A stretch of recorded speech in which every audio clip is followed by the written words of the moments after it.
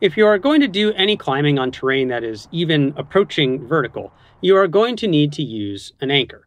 While there are plenty of videos about building anchors and using mnemonics like Serene or Ernest to help us think through the anchor construction, I've noticed a bit of a gap in discussions on orienting our carabiners as part of this process. So today we are focusing on the carabiners we place on our anchor setups and those we use as our attachments to the anchor. There are some subtleties that are worth understanding.